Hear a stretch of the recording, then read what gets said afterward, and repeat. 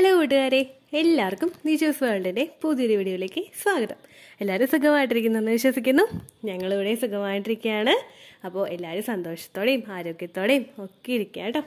Pregnant ആകുന്ന എല്ലാവർക്കും തന്നെ ഫസ്റ്റ് ട്രൈമസ്റ്ററിൽ കാണാൻ കഴിയുന്ന വളരെ കോമൺ ആയിട്ടുള്ള ഒരു പ്രഗ്നൻസി ലക്ഷണത്തിനെ പറ്റിയിട്ടാണ് ഇന്നത്തെ വീഡിയോയിൽ സംസാരിക്കുന്നത് കേട്ടോ. ഇതൊട്ടും വിയേർഡ് ആയിട്ടുള്ള ഒരു പ്രഗ്നൻസി ലക്ഷണമല്ല എല്ലാവർക്കും തന്നെ ഉണ്ടാകുന്ന ഒരു പ്രഗ്നൻസി ലക്ഷണമാണ്. അപ്പോൾ നമുക്ക് വീഡിയോ സ്റ്റാർട്ട് ചെയ്യാം. ഫസ്റ്റ് ട്രൈമസ്റ്ററിൽ തന്നെ കാണുന്ന പ്രഗ്നൻസി ലക്ഷണമാണ് ഇതെന്ന് പറയുന്നുണ്ടെങ്കിലും നിങ്ങൾക്ക് ഇത് കാണാനായിട്ട് കുറച്ച് ലേറ്റ് ആയി കഴിഞ്ഞാലും നിങ്ങൾ വിഷമിക്കേണ്ട ആവശ്യമില്ല. അതായത് നമ്മളിപ്പോൾ പിരീഡ്സ് മിസ്സാകുന്നതിന് മുൻപ് പലർക്കും ഈ ഒരു ലക്ഷണം കാണാനായിട്ട് സാധിക്കും. ചിലർക്ക് പിരീഡ്സ് മിസ്സായി കഴിഞ്ഞ് ആ ഒരു ഫസ്റ്റ് ട്രൈമസ്റ്ററിന്റെ പകുതിയൊക്കെ എത്തുന്ന സമയത്തായിരിക്കും ഇത് കാണാനായിട്ട് സാധിക്കുന്നത്. അപ്പോൾ ഇത് നേരത്തെ തന്നെ കാണുന്നില്ല എന്ന് വിചാരിച്ചിട്ട് നിങ്ങളുടെ പ്രഗ്നൻസി ഫെയിൽ ആയി പോയെന്നോ അല്ലെങ്കിൽ ഈ മാസവും പ്രഗ്നൻസി ആയിട്ടില്ല എന്നോ വിചാരിച്ച് നിങ്ങൾ ടെൻഷൻ ആകേണ്ട ആവശ്യമില്ല. മറിച്ച് നിങ്ങൾ ചെയ്യേണ്ടത് നിങ്ങളുടെ പീരിയഡ്സ് മിസ്സാകുന്നുണ്ടോ എന്നുള്ള കാര്യം ശ്രദ്ധിച്ചാൽ മതി.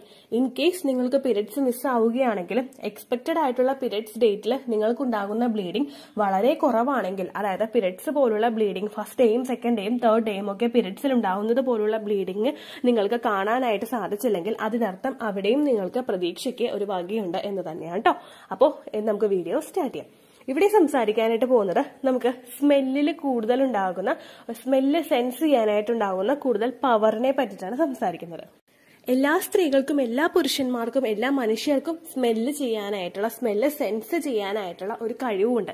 അതായത് നമ്മുടെ അടുത്തേക്ക് കൂടി ഒരു സ്മെല്ല് പാസ് ഒരു സ്മെല്ല് ഉണ്ടെങ്കിൽ അത് എങ്ങനെയാണ് ഏത് സ്മെല്ലാണ് എന്തിനെങ്കിലും വേറെ ഫുഡിന്റെ ആണോ അല്ലെങ്കിൽ വേറെ എന്തെങ്കിലും സ്മെല്ലാണോ എന്നൊക്കെ സെൻസ് ചെയ്യാനായിട്ടുള്ള ഒരു കഴിവ് എല്ലാ മനുഷ്യർക്കും ഉണ്ട്. അപ്പോൾ ഈ ഒരു സ്മെല്ല് സെൻസ് ചെയ്യുന്നത് പ്രഗ്നന്റ് ആകുന്ന ഒരു സ്ത്രീകളെ സംബന്ധിച്ചിടത്തോളം അതിന്റെ പവർ എന്ന് പറയുന്നത് വളരെയധികം കൂടുതലായിരിക്കും. വളരെ ദൂരത്തെ കൂടി എന്തെങ്കിലും പോയി കഴിഞ്ഞാലും അത് സെൻസ് ചെയ്യാനായിട്ട് ആയിട്ടുള്ള ഒരു കഴിവ് പ്രഗ്നന്റ് ആയിട്ടുള്ള സ്ത്രീകൾക്ക് ഉണ്ടാകുമെന്ന് ചുരുക്കം. ഇനി ഇങ്ങനെ ഉണ്ടാകാനായിട്ടുള്ള പ്രധാനപ്പെട്ട റീസൺസ് എന്തൊക്കെയാണെന്ന് നമുക്ക് നോക്കാം.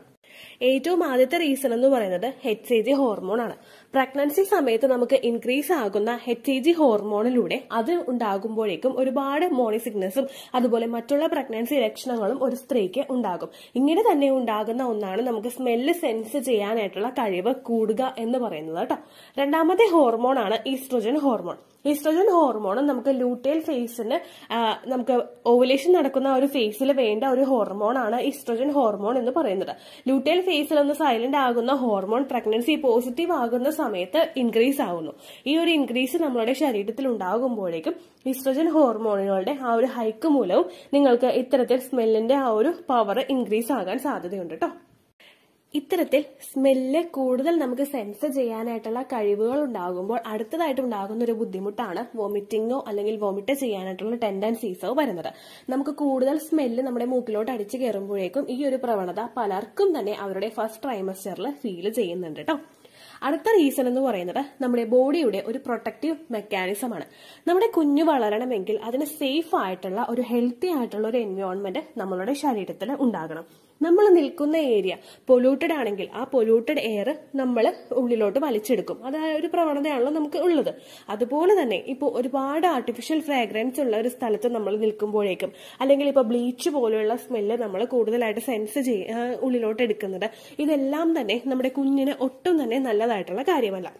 പൊല്യൂട്ടഡ് ആയിട്ടുള്ളതും കൂടുതൽ ടോക്സിൻസ് ഉള്ളതുമായിട്ടുള്ള ഒരു എൻവയോൺമെന്റിൽ നമ്മൾ നിൽക്കുമ്പോഴേക്കും അത് നമ്മളുടെ ആ ഒരു ബ്രീത്തിൽ കൂടെ കുഞ്ഞിലേക്ക് എത്തുകയും കുഞ്ഞിന്റെ ലൈഫിൽ തന്നെ ബുദ്ധിമുട്ടുകൾ ഉണ്ടാക്കുകയും ചെയ്യുന്നു. ഏർലി സ്റ്റേജ് എന്ന് പറയുന്നത് കുഞ്ഞിന് ഏറ്റവും കൂടുതൽ പ്രൊട്ടക്ഷൻ കൊടുക്കേണ്ട ഒരു സമയമാണ്. കുഞ്ഞിന് വളരാൻ വേണ്ടിയിട്ടുള്ള എല്ലാ ന്യൂട്രിയൻസും പ്രോപ്പർ ആയിട്ട് കിട്ടേണ്ട ഒരു സമയമാണ്. ആ സമയങ്ങളിൽ നമ്മൾ നല്ലൊരു എൻവയോൺമെന്റിൽ നിന്നിട്ടില്ല എങ്കിലോ നല്ലൊരു ചുറ്റുപാട് നമുക്ക് ഇല്ല എങ്കിലോ അത് കുഞ്ഞിനെ സാരമായിട്ട് തന്നെ ബാധിക്കും. അതിൽ നിന്നെല്ലാം ഒന്ന് നമ്മുടെ ബോഡിയെ പ്രൊട്ടക്ട് ചെയ്യാൻ വേണ്ടിയിട്ട് ശരീരം തന്നെ കൊടുക്കുന്ന ഒരു പവറാണ് ഇത്തരത്തിൽ സ്മെല്ല് കൂടുതൽ സെൻസ് ചെയ്യാനായിട്ടുള്ള ഒരു പവർ എന്ന് പറയുന്നത് കേട്ടോ. ആ ലക്ഷണം അതുമാണ് രണ്ടാമത്തെ റീസൺ ആയിട്ട് നമുക്ക് കാണാനായിട്ട് സാധിക്കുന്നത്. ഇനി ഏതെല്ലാം കാര്യങ്ങൾക്കായിരിക്കും നമുക്ക് ഇത്തരത്തിൽ ആ ഒരു പവർ കൂടുതലായിട്ട് വരുന്നതെന്ന് നമുക്ക് നോക്കാം. ഫുഡിലാണ് ഏറ്റവും കൂടുതൽ ആ ഒരു ബുദ്ധിമുട്ട് നിങ്ങൾക്ക് ഫീൽ ചെയ്യുന്നതെങ്കിൽ മുട്ട അതുപോലെ തന്നെ മീറ്റ് ഇതെല്ലാം വേവിക്കുന്ന സ്മെല്ല് നിങ്ങൾക്ക് പറ്റാതെ വരും. അതുപോലെ തന്നെ ഫ്രൈ ചെയ്യുന്ന സ്മെല്ല് മീൻ വറുക്കുന്നതോ അല്ലെങ്കിൽ മറ്റെന്തെങ്കിലും സ്നാക്സും ഒക്കെ വറുത്തെടുക്കുന്നതിന്റെ സ്മെല്ല് നിങ്ങൾക്ക് ഒട്ടും തന്നെ പറ്റില്ല. അതുപോലെ തന്നെ ഒനിയൻ നമ്മുടെ ഉള്ളി അതുപോലെ വെളുത്തുള്ളി ഇതിന്റെ ഒന്നും സ്മെല്ല് പലർക്കും പറ്റില്ല. ആൽക്കഹോളിന്റെ സ്മെല്ല് ഒട്ടും പറ്റില്ല. സിഗരറ്റ് അതുപോലെ ഹാൻഡ് സാനിറ്റൈസറിന്റെ സ്മെല്ല് ഇങ്ങനെ പല സ്മെല്ലുകളൊന്നും നമുക്ക് ഒട്ടും തന്നെ ടോളറേറ്റ് ചെയ്യാനായിട്ട് പറ്റില്ല കേട്ടോ ചില ആളുകൾക്ക് എന്ന് പറയുന്നത് അവരുടെ ഹസ്ബൻഡ് അടുത്തേക്ക് വരുന്ന ആ ഒരു സ്മെല്ല് പോലും ഒട്ടും അക്സെപ്റ്റ് ചെയ്യാൻ പറ്റാത്തവരുണ്ട്. ഒരുപാട് പേര് ചാനലിൽ പറഞ്ഞിട്ടുണ്ട് ചേച്ചി ഹസ്ബൻഡ് അടുത്തേക്ക് വരുമ്പോഴേക്കും ആ സ്മെല്ല് ഭയങ്കരമായിട്ട് ഇറിറ്റേറ്റഡ് ആവുന്നു. അല്ലെങ്കിൽ ആ ഒരു പ്രഗ്നൻസി ടൈം ഫുള്ള് ഹസ്ബൻഡിനെ അകറ്റി നിർത്തിയവരൊക്കെ ഉണ്ട് കേട്ടോ ഇനി ഈ ഒരു ലക്ഷണം കൂടുതലായിട്ട് വന്നു കഴിഞ്ഞാൽ നമ്മുടെ ബോഡി ഒന്ന് പ്രൊട്ടക്ട് ചെയ്യാൻ വേണ്ടിയിട്ട് നമുക്ക് എന്തെല്ലാം കാര്യങ്ങൾ ചെയ്യാമെന്ന് നോക്കാം. സ്മെല്ല് കൂടുതലായിട്ട് നമുക്ക് മൂക്കിലോട്ട് അടിച്ചു കഴിഞ്ഞാൽ നമുക്ക് ഇഷ്ടമില്ലാത്ത ഒരു സ്മെല്ലാണെങ്കിൽ തീർച്ചയായിട്ടും നമ്മൾ വോമിറ്റ് ചെയ്യും. അല്ലെങ്കിൽ വോമിറ്റ് ചെയ്യാനായിട്ടുള്ള ടെൻഡൻസീസ് നമുക്ക് കൂടും. അപ്പൊ അതൊന്ന് അവോയ്ഡ് ചെയ്യാൻ വേണ്ടിയിട്ട് നമുക്ക് എന്തെല്ലാം കാര്യങ്ങൾ ശ്രദ്ധിക്കാമെന്ന് നോക്കാം കേട്ടോ നിങ്ങൾക്ക് കൂടുതൽ ഫ്രൈഡ് ആയിട്ടുള്ള ഭക്ഷണങ്ങളുടെ സ്മെല്ല് നിങ്ങൾക്ക് ഒട്ടും തന്നെ പറ്റുന്നില്ല എങ്കിൽ നിങ്ങൾ അവയിൽ നിന്ന് മാറി നിൽക്കാൻ ശ്രദ്ധിക്കുക. കൂടുതലായിട്ട് ഇപ്പോൾ കിച്ചണിൽ കുക്ക് ചെയ്യുന്ന സമയത്ത് അത്തരത്തിലുള്ള സ്മെല്ല് നിങ്ങൾക്ക് പറ്റുന്നില്ല എങ്കിൽ നിങ്ങളുടെ അടുത്ത് നിൽക്കുന്ന ഒരാളോട് നിങ്ങളത് കൺവേ ചെയ്യാനായിട്ട് ശ്രമിക്കുക. കാരണം നമ്മൾ ഈ സ്മെല്ല് കൂടുതലായിട്ട് സെൻസ് ചെയ്ത് കഴിഞ്ഞ് കഴിഞ്ഞാൽ നമുക്ക് വോമിറ്റിംഗ് കൂടും. വോമിറ്റിംഗ് കൂടിക്കഴിഞ്ഞാൽ നമുക്ക് വേണ്ടുന്ന ഭക്ഷണങ്ങൾ പ്രോപ്പറായിട്ട് കഴിക്കാൻ പറ്റാതെ വരും. അങ്ങനെ വന്നു കഴിഞ്ഞാൽ കുഞ്ഞിന് ന്യൂട്രീഷണൽ ഡെഫിഷ്യൻസീസ് ഉണ്ടാകും. അപ്പൊ അതുകൊണ്ട് തന്നെ നിങ്ങൾക്ക് അത്തരത്തിലുള്ള സ്മെല്ലുകൾ വരുന്നുണ്ടെങ്കിൽ നിങ്ങൾ അവയിൽ നിന്ന് മാറി നിൽക്കുക.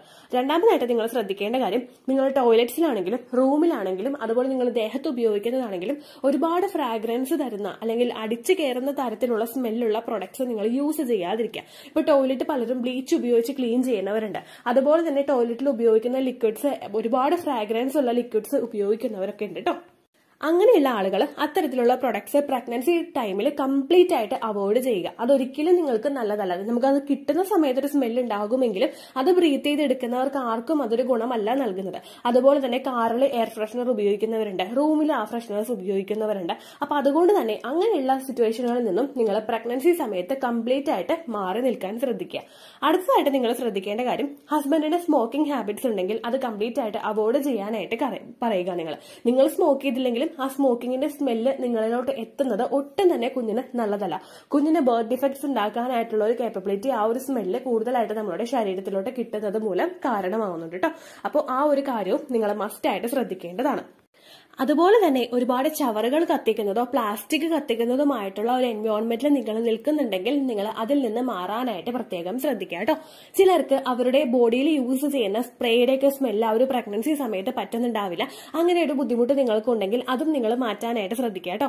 ഇത്തരത്തിലുള്ള പൊടിക്കൈകൾ ശ്രദ്ധിച്ചു കഴിഞ്ഞാൽ നിങ്ങൾക്ക് ആ ഒരു സ്മെല്ല് മൂലം ഉണ്ടാവുന്ന ബുദ്ധിമുട്ടുകളിൽ നിന്ന് കുറച്ചൊന്ന് ഓവർകം ചെയ്യാനായിട്ട് സാധിക്കും കേട്ടോ. എന്റെ പ്രഗ്നൻസി സമയത്ത് എനിക്ക് ഭയങ്കരമായിട്ട് ഉണ്ടായിട്ടുള്ള ഒരു ബുദ്ധിമുട്ടായിരുന്നു ശരിക്കും പ്രഗ്നൻസിയുടെ ആ ഒരു ഫസ്റ്റ് വോമിറ്റിംഗ് എനിക്ക് തുടങ്ങുന്നത്.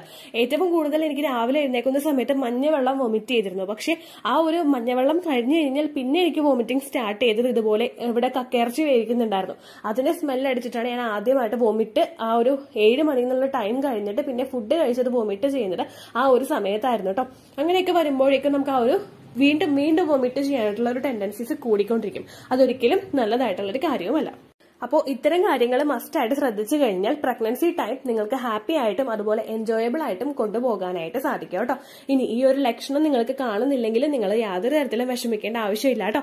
ഈ ഒരു ലക്ഷണം എന്ന് പറയുന്നത് ഒരുപാട് പേർക്ക് ഉണ്ടാവുന്ന ഒരു ലക്ഷണമാണ്. നിങ്ങൾ ലേറ്റസ്റ്റ് ആയിട്ട് ഇറങ്ങിയിട്ടുള്ള പേളി മാണിയുടെ ഒരു ഷോർട്ട് വീഡിയോ കണ്ടിട്ടുണ്ടാവും ഞാൻ വിശ്വസിക്കുന്നു. അതിൽ ഒരുപാട് ഇങ്ങനെ സ്മെല്ലുകളെ പറ്റി പേളി കൺവേ ചെയ്യാനായിട്ട് ശ്രമിക്കുന്നുണ്ട്. അതുപോലെ തന്നെ ആ ഒരു സ്മെല്ല് പെട്ടെന്ന് സെൻസ് ചെയ്യാൻ കഴിയുന്നതിനെ പറ്റിയിട്ട് പേളി ഭയങ്കര ക്രേസി ആയിട്ട് അതിനകത്ത് എക്സ്പ്ലെയിൻ ചെയ്ത് കൊടുത്തിട്ടുണ്ട് കേട്ടോ. അപ്പോൾ നിങ്ങൾ ആ ഒരു ഡൗട്ട് ഉണ്ടെങ്കിൽ ആ വീഡിയോസ് ഒക്കെ കാണുക. അപ്പോൾ നിങ്ങൾക്ക് ഒരുപാട് എന്താ പറയുക നല്ലൊരു ഹാപ്പിനെസ്സും കിട്ടും. അതുപോലെ ഇത്തരത്തിലുള്ള ലക്ഷണങ്ങൾ ഉണ്ടല്ലോ എന്ന് മനസ്സിലാക്കാനായിട്ട് സാധിക്കും കേട്ടോ. അപ്പോൾ ഇത്രയേ ഉള്ളൂ വീഡിയോ എന്തെങ്കിലും സംശയം ഉണ്ടെങ്കിൽ നിങ്ങൾ കമന്റ്സിൽ ചോദിക്കുക. പണ്ടത്തെ വീഡിയോയ്ക്ക് കമന്റ്സ് ഇടുന്നവർക്ക് റിപ്ലൈ കിട്ടുന്നില്ലെങ്കിലോ നമ്മൾ തമ്മിൽ ഓൾറെഡി ഒരു കോൺവെർസേഷൻ ഉണ്ടായിട്ടും അതിന്റെ കണ്ടിന്യൂഷൻ ആയിട്ട് നിങ്ങൾക്ക് റിപ്ലൈ കിട്ടിയിട്ടില്ലെങ്കിലോ ലേറ്റസ്റ്റ് ആയിട്ട് ഞാൻ ഏത് വീഡിയോ ആണ് അപ്ലോഡ് ചെയ്യുന്നത് അതിന് താഴെ കമന്റ് ഒന്ന് കോപ്പി പേസ്റ്റ് ചെയ്യാനായിട്ട് ശ്രദ്ധിക്കുക കേട്ടോ.